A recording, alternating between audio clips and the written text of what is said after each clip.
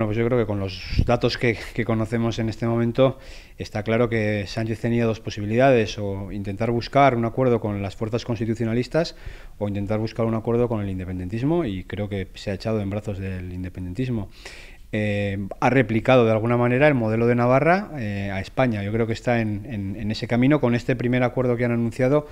con Unidas Podemos, porque más allá de eso va a estar en manos de los independentistas. Va a estar en manos de RC y de H. Bildu el que Sánchez sea presidente o no sea presidente de este país. Por lo tanto, la estabilidad de este país, los presupuestos en el futuro, van a estar en manos de los partidos que quieren eh, que España desaparezca, que España se rompa. Y además parece que vamos a tener un vicepresidente del gobierno que antes daba mucho miedo, ¿verdad? Al que ahora nos abrazamos pero que en definitiva es un vicepresidente del gobierno que representa a la extrema izquierda. En un momento donde hay una desaceleración económica, en un momento donde no sabemos qué va a pasar con el Brexit, en un momento donde el desempleo está creciendo, en un momento donde debiéramos estar dando certidumbres, pues va a colocar de vicepresidente del gobierno al señor Iglesias, que obviamente eh, seguridades desde el punto de vista económico ninguna y seguridades desde el punto de vista del reto identitario e independentista que tiene este país tampoco, porque no olvidemos que Iglesias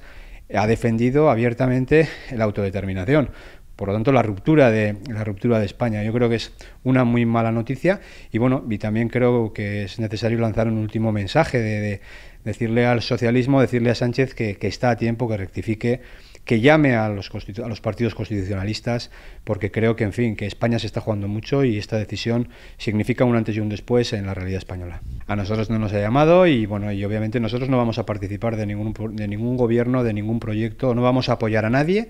que crea que, que, comparta un proyecto con el independentismo que quiere romper España o con el independentismo que lo que quiere que Navarra sea Euskadi. Nosotros ahí no vamos a estar, lo hemos dicho, para eso nos presentamos a las elecciones, precisamente, para con nuestros votos humildemente intentar bueno, pues ayudar a que España no dependiera de aquellos que la quieran romper. Desgraciadamente, al socialismo todo le vale por alcanzar el sillón.